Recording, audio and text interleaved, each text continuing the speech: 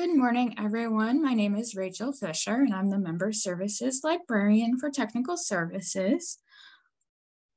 And thank you for joining us today for the Acquisitions in LEAP version 7.2 webinar.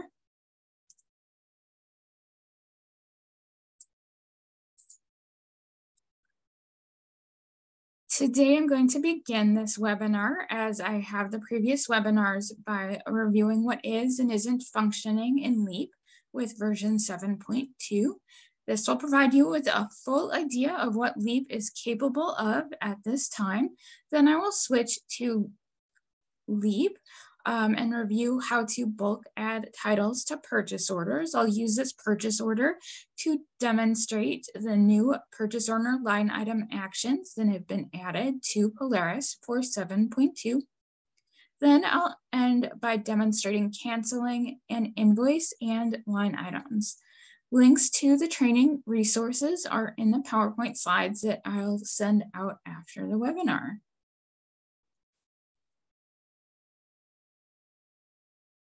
So in the previous sessions, I reviewed a similar slide listing what you can and can't do in LEAP.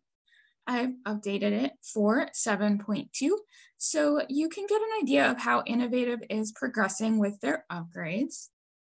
If you attended the previous acquisition session, this will be familiar to you. Fiscal year, fund, and supplier records can be created and edited. The only functions missing from the fund records are the ability to adjust encumbrances or expenditures and the fund hierarchy view. You can import the on order records. One moment. Uh, you can import the on order records with MARC import using express import, but not full import. This means that you cannot alter most of the settings of the import profile before importing the file. Leap still only allows the EDI ordering and invoicing workflow. This includes both adding titles to a purchase order and paying the invoices that were created by the EDI process. With 7.2, you now have the ability to cancel a purchase order line item or change its status. An example would be changing it to returned. You can now credit the invoices and invoice line items. However, ASN and EDI processing for partial shipments are not in LEAP yet. The manual functions for acquisitions will not be added until 7.3, but hopefully that release will be available um, soon. So we'll be adding the 7.3 upgrade in October and I will need to take some time to um, test it out to make sure everything's functioning properly. And um, then we'll have to work on training documentation and decide on when to upgrade production, but we have not decided on when that will be. But it is going to be um, a major addition to our acquisitions course, so it may take some time for me to create that training material. So this is the page of training resources that um, you'll have access to after the session. So I have added some new videos and um, exercises to the guided activities for you to practice after the webinar is over.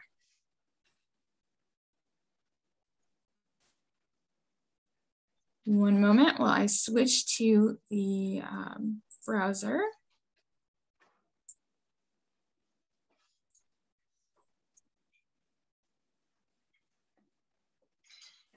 Are there any questions on my presentation before I uh, begin the demonstration in LEAP?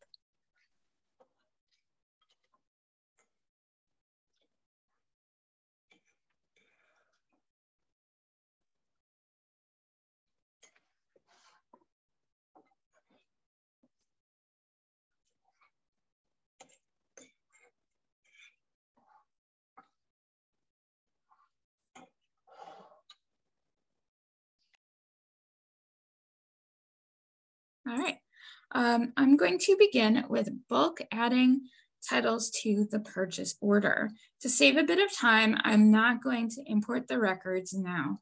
Um, I've already created a record set of records that have a 970 field in them. If you were importing the records today, um, you would find MARC Import under Utilities at the bottom.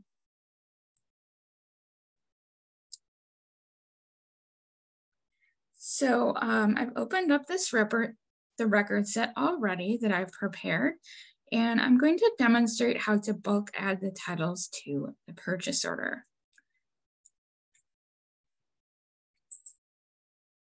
There are two actions menus in record sets. The top one is the one that you use to access the buttons for bulk adding the titles to the purchase order. So I'm going to bulk add them to a new purchase order. If I were to choose bulk adding the titles to the existing purchase order, it would open up the find tool so I could find that purchase order.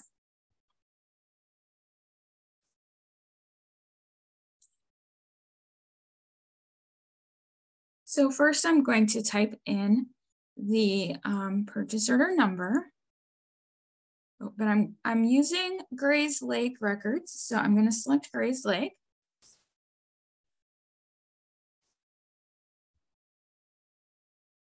And one of the features that has not been added yet to 7.2 is um, the links drop-down menu to easily go between um,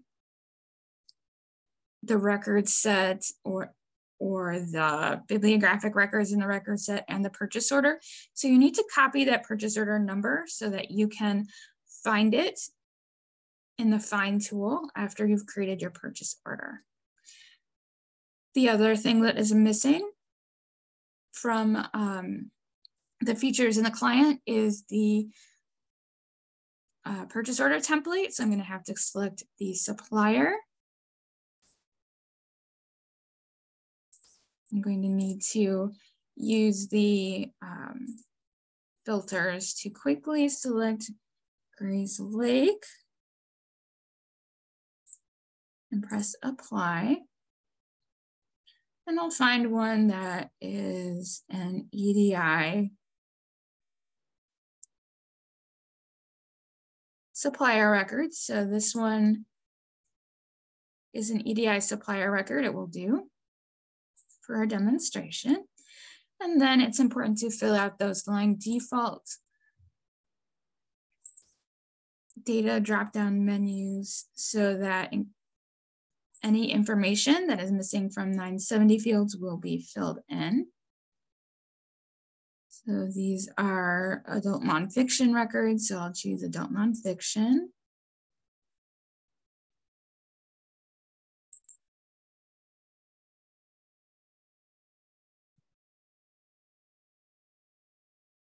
And then I'll press continue.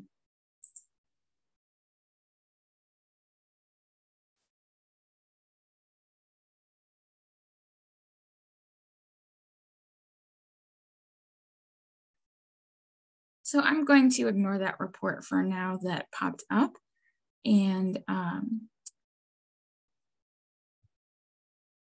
we'll click find to find that purchase order. So under the first drop-down menu, I have to select purchase order and it will search for the purchase order number.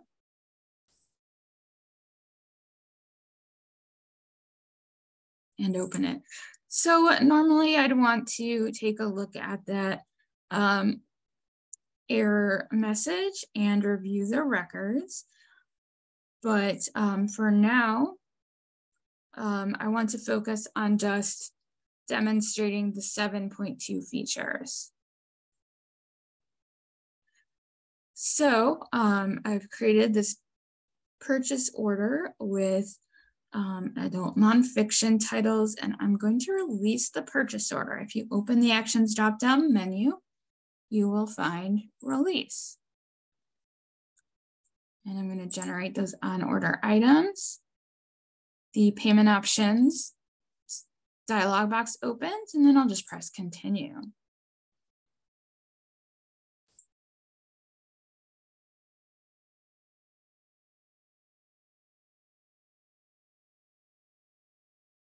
All right, so now the status has been changed to on order for all of these items. So new with 7.2 is the ability to cancel the purchase order line item. So this is fairly easy to do. You can just click on a line item to be canceled and press the cancel button. And then press continue on the dialog box. Once it is canceled, it changes the status to cancel. If you would like to delete the line item that has been canceled, you can do so by checking the box again and then press delete. You don't have to delete it, but it's up to you. The dialog box will open asking if you're sure you want to delete it, and then you can press continue.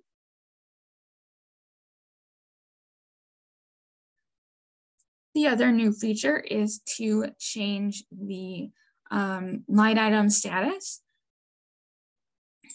In order to do so, you need to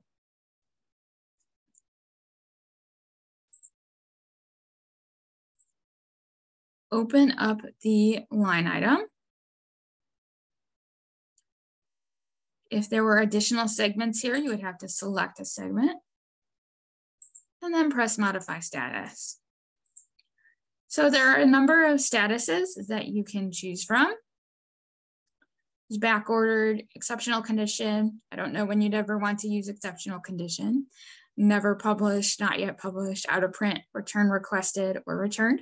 I think it's mostly used for just um, cases when you would need to return a damaged item if it was damaged. So then you can update the status to returned.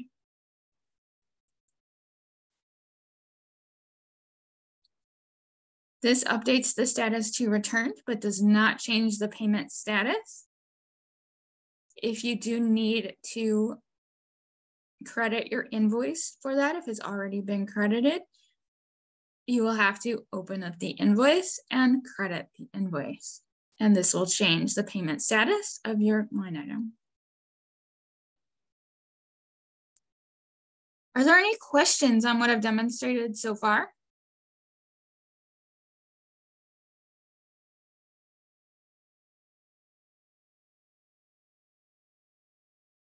If you'd like me to demonstrate anything again, feel free to let me know. If I've gone too fast, feel free to uh, just type in the chat or unmute yourself and um, ask me to repeat something again.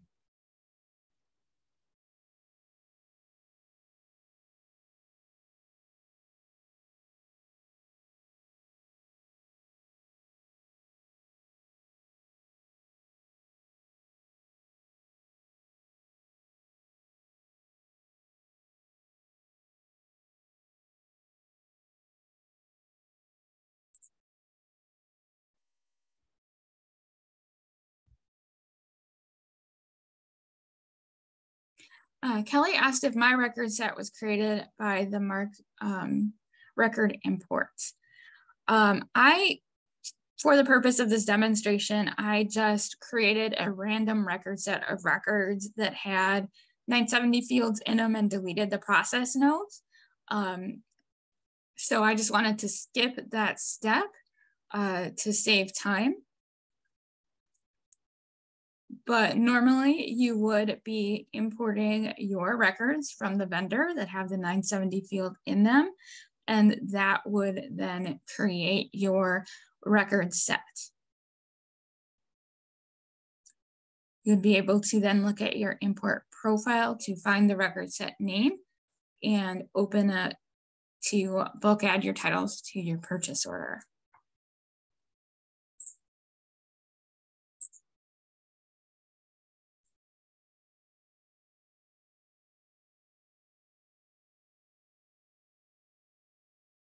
Are there any other questions?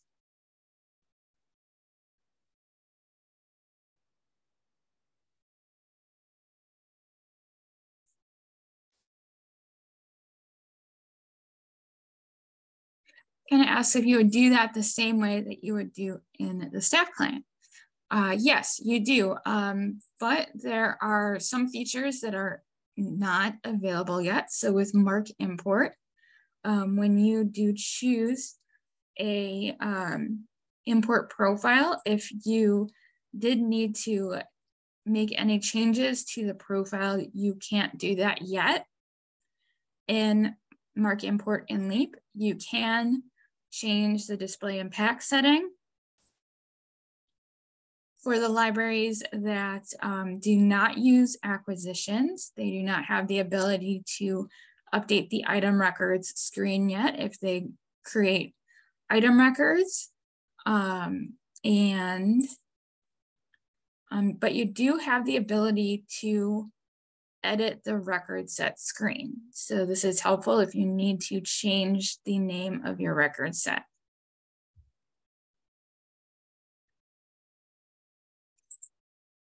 Then once everything is imported, you will find the reports under cataloging processing. This has the tabs for both bibliographic bulk change and MARC import. You'll find your import reports by clicking on the MARC import tab.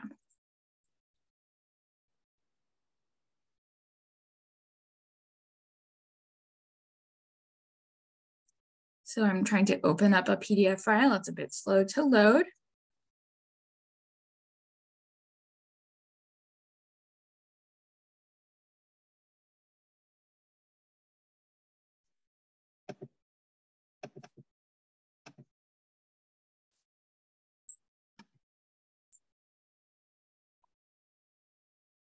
And there it is.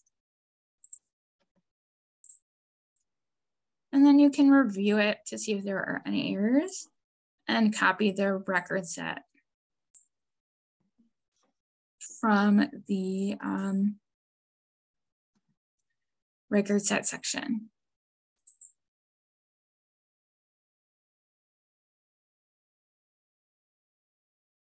Does that ask, answer your question, Tana?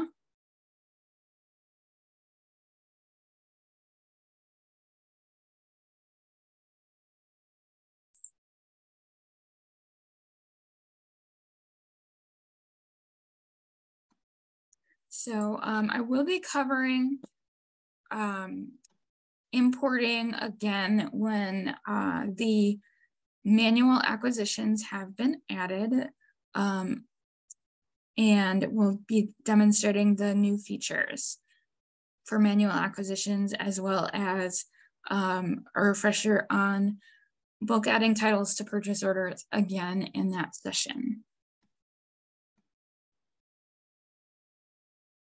So that will be sometime towards the end of the fall, but I'm not sure exactly when yet. So we'll have to decide on when we will be updating production first. Are there any other questions?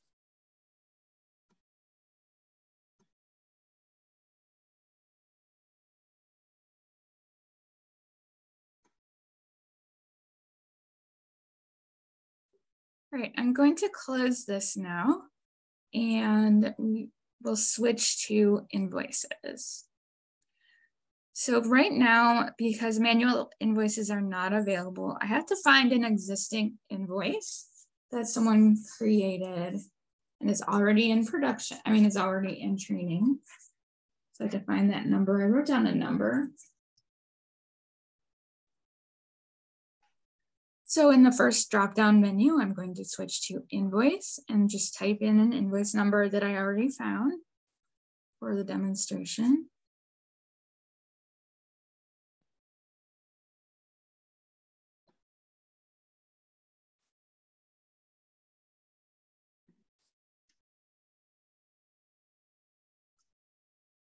And I'm going to just open up this Grayslake invoice because this is training. Um, we will be replacing this with a fresh copy from production soon. So any actions I do today will be completely erased. And I'm going to now demonstrate crediting the full invoice and crediting line items. So with this one, I'm going to credit the full invoice. To do so, you would click on the Actions drop-down menu and press Credit. You will see the uh, check or voucher dialog box open.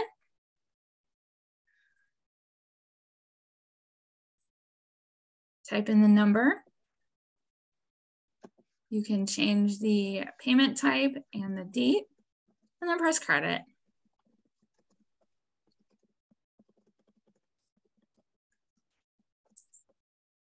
Oh, I chose the wrong invoice. I failed to credit it.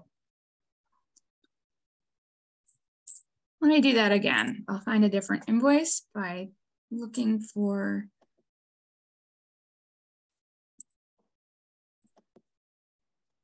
the uh, correct fiscal year. Select invoice, and then I'll have to add a filter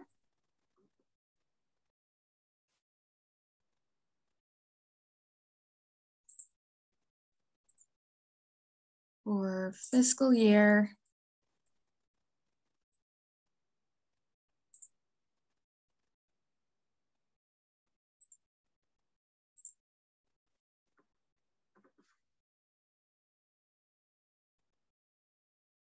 I'll try 2023. See if that gives you anything. So I'm adding the asterisk as a wild card to try to apply that. Okay. I'll choose this one from Northbrook. This is the correct fiscal year. Sorry about that. So to cancel this invoice, you'd open the actions drop-down menu, press credit, type in the number, select voucher or check, and change the date. And this invoice was credited successfully.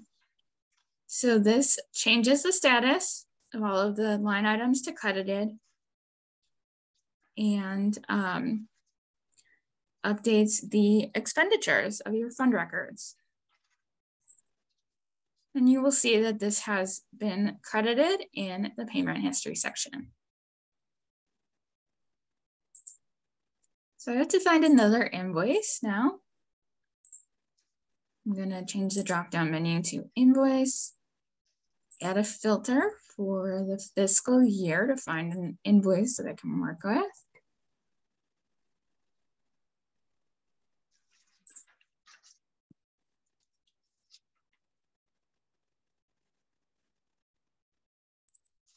And it'll open up this invoice. So to credit the line items, you need to click on the line items tab.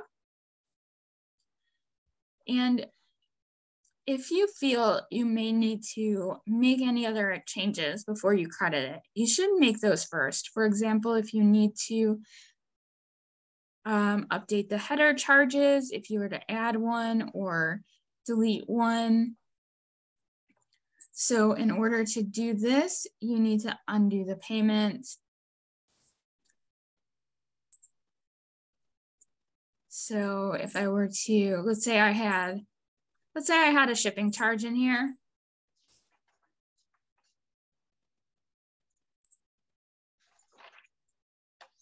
And needed to also have um, some other charge, whatever it was, maybe um, cataloging services charge.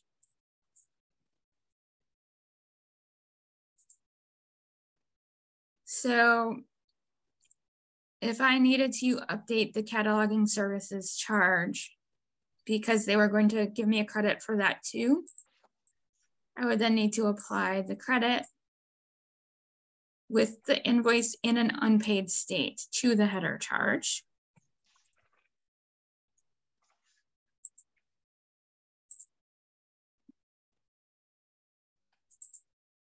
And press OK. Then pay the invoice again.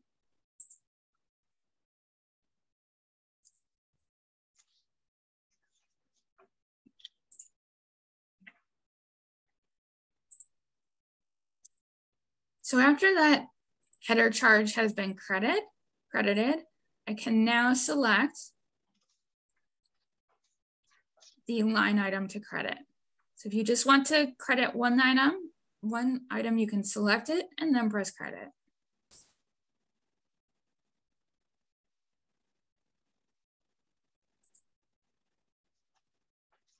Once this has been credited, it completely locks that invoice. You cannot undo the payment by clicking on actions. So you can see this has all been grayed out. So it's something you need to be really cautious of, like in the staff client, that you should only credit an invoice only when you're sure that you're ready to credit it. If you have other changes to make to the invoice, you should make those first and save any line item credits until the end. Are there any additional questions?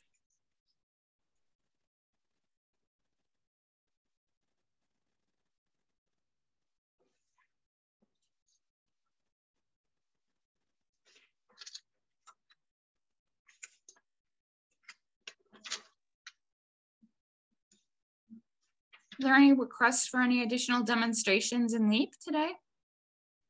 We have some time, it'll be a short webinar, but we do have some additional time. I can demonstrate anything else that you would like.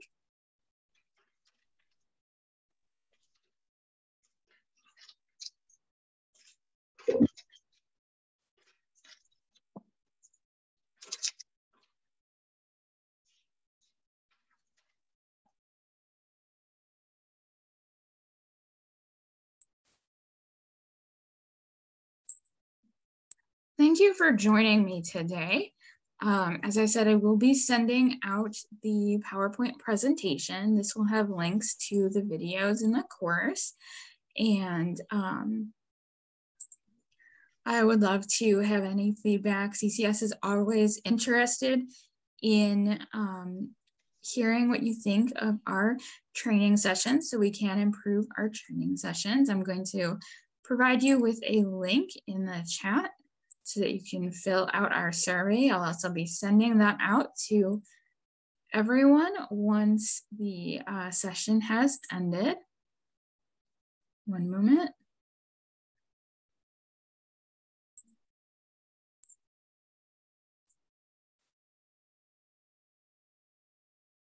And there's the survey link in the chat. If you have no other questions, feel free um, to uh, contact me if you can think about any questions in the future via the help desk or want to schedule any one-on-one -on -one training sessions. Um, I'm happy to go over anything um, again uh, in one-on-one -on -one training sessions to review it with you. At any point, um, especially if you're interested in transitioning to uh, acquisitions for the first time. I see that some of our attendees today um, have not started using acquisitions yet in Polaris. So if you have any questions on that transition process, and you would like to review that process of how to transition to Polaris, feel free to contact me at any point and we can schedule a meeting.